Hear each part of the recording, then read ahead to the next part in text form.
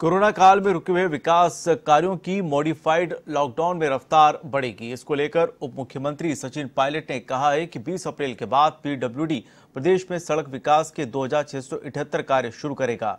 Corona महामारी के कारण प्रदेश में रुके हुए सड़क विकास कार्य मॉडिफाइड लॉकडाउन में शुरू हो सकेंगे।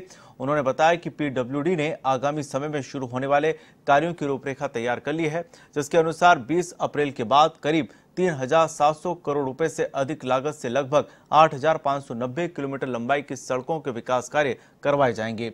पायलट ने बताया कि रूरल इंफ्रास्ट्रक्चर डेवलपमेंट फंड योजना में छह सौ निन्यानवे सड़कों के विकास और नवीनीकरण के लिए तीन सौ तिरासी करोड़ रुपए की नाबार्ड से स्वीकृति जारी हो चुकी है, जिसकी निविदाएँ आमंत्रित की जाएँगी। इस योजना के तहत लगभग दो हज़ार दो सौ बावन किलोमीटर लंबाई की सड़कों का विकास होगा। उन्होंने बताया कि शीघ्र ही परियोजना के मुताबिक कुल 2240 किलोमीटर लंबाई की सड़कों का नवीनीकरण कराया जाएगा। पायलट ने बताया कि प्रधानमंत्री ग्राम सड़क योजना के तीसरे चरण में भी 2200 किलोमीटर की सड़कों के अपग्रेडेशन के दो कार्यों के लिए 1140 करोड़ रुपए की स्वीकृति जारी की गई है, जिसकी निविदाएँ आमंत्रित की जा रही हैं। पायलट ने कहा कि कोरोना महामारी के चलते लॉकडाउन की गाइडलाइन की पालना करना ज़रूरी है।